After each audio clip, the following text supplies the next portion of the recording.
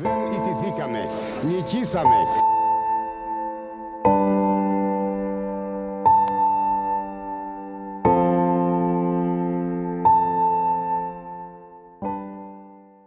Η Κρήτη αποχαιρετά το Μανώλη Παπαστεφανάκη. Δεν ιτηθήκαμε, νικήσαμε. Ο πρώην Υπουργός, στενός συνεργάτης του Ανδρέα Παπανδρέου, βουλευτής Ηρακλείου και διεκδικητής του Δημαρχιακού Θόκου της πόλης, έφυγε από τη ζωή σε ηλικία 84 ετών το βράδυ της Παρασκευής, νικημένος από τα προβλήματα υγείας που αντιμετώπιζε τα τελευταία χρόνια.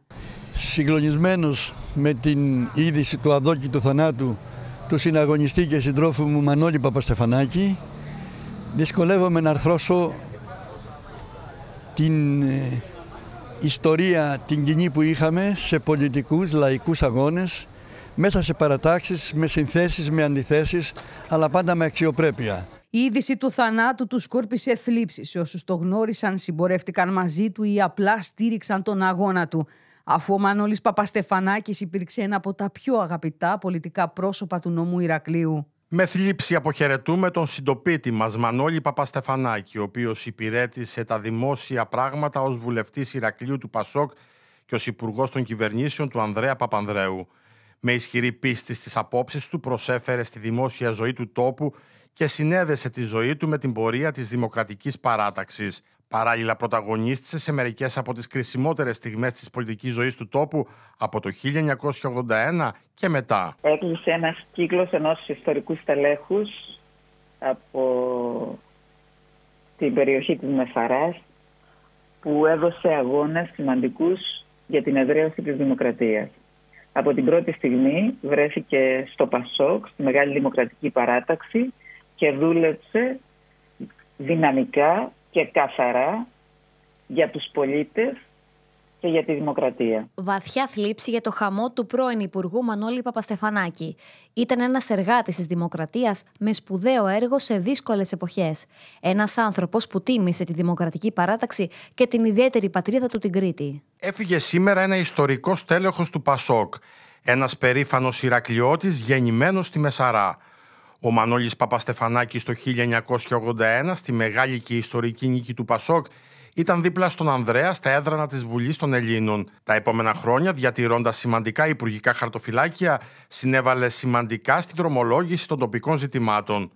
Ο θάνατός του αφήνει ένα μεγάλο κενό στην πολιτική ζωή του Ηρακλείου. Στην οικογένειά του τα ειλικρινή μου συλληπιτήρια. Τον αποχαιρετώ με σεβασμό. Ο Μανώλης Παπαστεφανάκης, γεννημένος το 1940 στο Μαγαρικάρι της Μεσαράς, ήταν ιστορικός τέλεχος του Πασόκ.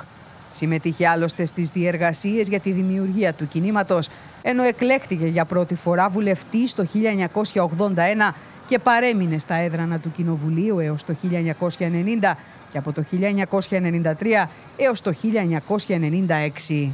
Από την πρώτη στιγμή λοιπόν ειδοποιημένος από το πάκτο εξωτερικού του οποίου ήμουν μέλος, είχα την τιμή. Ειδοποίησα το Μαλόι τον Παπαστεφανάκη και μια σειρά 5-6 ακόμα άλλους ε, συντρόφους και υποδεχτήκαμε σε 19 Αυγούστου του 1974 στην Αθήνα τον Ανδρέα Παπανδρέου.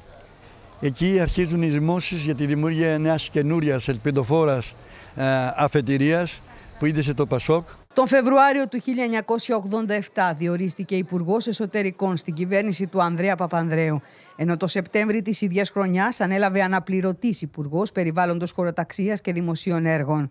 Το Μάρτιο του 1989 έγινε Υπουργός Πεχοθέ, θέση που κατήχε έως και τη λήξη της θητείας της κυβέρνησης του Πασόκ. Πάντα με το θάρρος και την παρησία της άποψής του, με στένο και δυναμισμό από τότε που ξεκινούσε και όργωνε τη Μεσαρά για να στήσει το οργανωτικό δίκτυο του Πασόκ και στη συνέχεια ως βουλευτής και υπουργός πάντα στο πλευρό του ιδρυτή του κινήματος, υπηρέτησε και συνέβαλε αποφασιστικά να δρομολογηθούν λύσεις για την Κρήτη και το Ηράκλειο, αλλά και για να γίνει πανίσχυρο και παντοδύναμο το Πασόκ στο νησί. Έφυγε δυστυχώς ο Μανώλης Παπαστεφανάκη, ένας έντιμος πολιτικός, τον οποίο ο Ηρακλειώτικος λαός τίμησε αρκετές φορές. Ε, πιστεύω ότι έχει αναγνωριστεί η προσφορά του σε μεγάλο βαθμό. Θέλω να συλληπιθώ θερμά την οικογένειά του και τους οικείου του γενικότερα. Το 1998 ο Μανώλης Παπαστεφανάκης διεκδίκησε τον δημαρχιακό θόκο του Ηρακλείου και τον έχασε από τον πάλε ποτέ συντροφό του Κώστα Ασλάνη για μόλις 27 ψήφους.